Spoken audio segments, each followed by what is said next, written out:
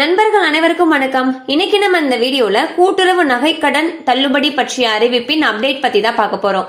வீடியோக்குள்ள போறதுக்கு முன்னாடி இதுவரைக்கும் நீங்க நம்ம சேனலை சப்ஸ்கிரைப் பண்ணலைன்னா சப்ஸ்கிரைப் பண்ணிருங்க. மறக்காம பக்கத்துல இருக்கக்கூடிய பெல் பட்டனை கிளிக் பண்ணுங்க.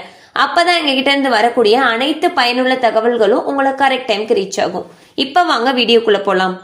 சோ எல்லாருக்குமே தெரியும் கடந்த வாரம் வந்து பாத்தீங்கன்னா தமிழக முதல்வர் அவர்கள் கூட்டுறவு நகைக்கடன் தள்ளுபடி அப்படின்னு சொல்லி ஒரு அறிவிப்பை வெளியிட்டாரு.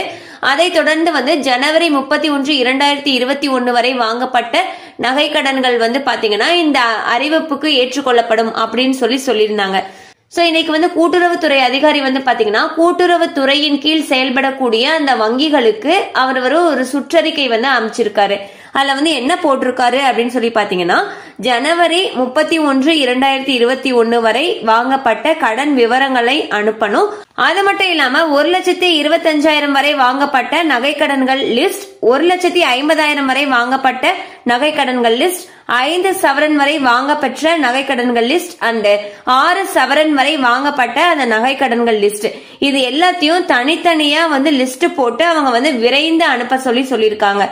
ஸோ இந்த லிஸ்ட் எல்லாமே கிடைச்சதுக்கு அப்புறம் அவங்க வந்து அடுத்த கட்ட நடவடிக்கையில ஈடுபட போறதா மென்ஷன் பண்ணியிருக்காங்க ஸோ இந்த வீடியோ மூலயமா சொல்ல வருது என்னன்னு சொல்லி பாத்தீங்கன்னா இதுக்கு முன்னாடி எல்லாருக்குமே தெரியும் ஜனவரி முப்பத்தி ஒன்று இரண்டாயிரத்தி இருபத்தி ஒன்னு வரை வைக்கப்பட்ட நகைக்கடன்கள் இந்த அறிவிப்புக்கு செல்லுபடியாகும் அப்படின்னு சொல்லியிருந்தோம்.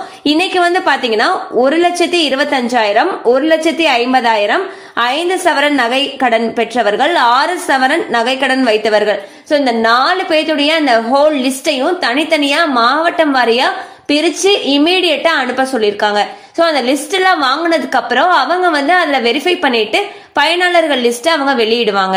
சோ இதுல வந்து உங்களுடைய பெயர் அடங்குமா அப்படின்றத நம்ம பிறகு பாத்துக்கலாம் இப்போதைக்கு வந்து அவங்க லிஸ்ட்டை வந்து ப்ரிப்பேர் பண்ணிட்டு இருக்காங்க. அடுத்து வந்து பொதுத்துறை நிறுவனங்கள் பத்தி அவங்க இன்னமும் அறிவிக்கல. பொதுத்துறை பொறுத்த வரைக்கும் அதாவது இந்தியன் பேங்க் எஸ்பிஐ ஐஓபி இந்த மாதிரி பேங்க்ல வைக்கப்பட்ட நகைகள் பத்தி இன்னும் வரைக்கும் எதுவுமே அவங்க அப்டேட் பண்ணல. இப்ப வந்து அவங்க சொல்லிட்டு இருக்கிறது எல்லாமே பாத்தீங்கன்னா தமிழக அரசின் கூட்டுறவு துறையின் கீழ் செயல்படக்கூடிய அந்த வங்கிகளுக்கு மட்டும்தான் இந்த அறிவிப்பு பொருந்தும் அப்படின்னு சொல்லி சொல்லியிருக்காங்க. சோ வந்து இதுதான் இன்னைக்கான அப்டேட்.